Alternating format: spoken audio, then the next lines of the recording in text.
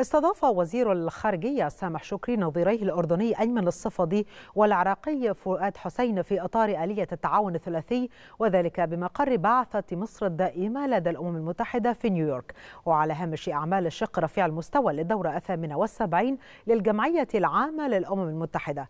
بحث وزراء خارجية الدول الثلاث سبل تفعيل التعاون في عدة مجالات اقتصادية وسياسية حيث تم الاتفاق على أهمية الانتهاء من المشروعات المطروحة فيما بينهم بينهم. والمبادرة بطرح أفكار ومشروعات جديدة في مجالات منها الربط الكهربائي والطاقة المتجددة والاتصالات التجارة والصناعة وكذلك مجالات التعاون الأمنية والدفاعية.